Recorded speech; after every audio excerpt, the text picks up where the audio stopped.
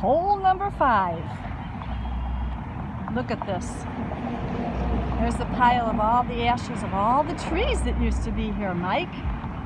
Son of a gun. Look at that. Good old entryway. Here was that guy's little cabin. They stuck it up front. Here was the old parking lot. Still is. Ta-da!